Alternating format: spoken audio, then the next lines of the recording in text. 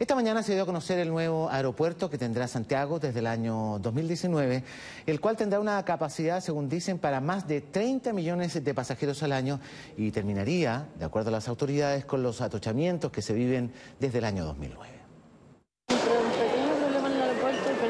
No sé a qué horas voy a abordar el avión. Y ahora está colapsado esto totalmente. Hay un señor atendiendo a todos los pasajeros que hemos tenido el mismo problema.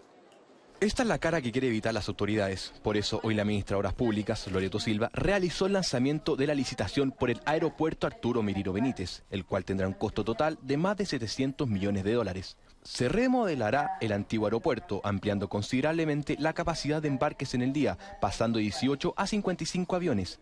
Además, se construirá nuevos embarques internacionales, lo que se espera traiga y conquista a todos los turistas con una fachada que muestre las virtudes del país que refleje el Valle Central eh, y la isla de Pascua, eh, porque creemos que el aeropuerto de, de, nuestro país, que es la puerta de entrada a nuestro país, debe ser un ícono que simbolice también nuestra identidad nacional. Actualmente el aeropuerto tiene una capacidad para 9 millones de turistas al año, lo que le ha traído más de un dolor de cabeza a las autoridades y sobre todo a los pasajeros. Por lo tanto, se espera que para 2019, año en que finalizará la obra, el aeropuerto cuente con más del triple de capacidad, aligerando así la llegada de visitantes. Eso es lo importante, que consiga el crecimiento de nuestro país, el crecimiento económico de nuestro país y que también consiga el crecimiento, por cierto, del tráfico de pasajeros, tanto en vuelos nacionales o internacionales.